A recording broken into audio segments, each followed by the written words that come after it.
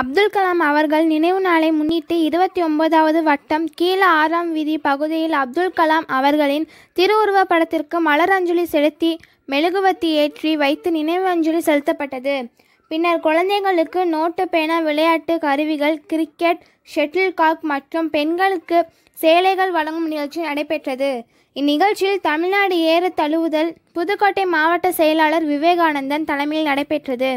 மேலும் சாலை பாதுகாப்பு மற்றும் ரோட்ரி மோகன்ராஜ் தமிழக வாழ்வுரிமை கட்சி நிறுவன தலைவர் கே. எம். சரி விஸ்வ இந்து பிரஷத் மாவட்ட செயலாளர் அரங்குவலன் மற்றும் பொதுமக்கள் என ஏராளமானோர் கலந்து கொண்டனர்.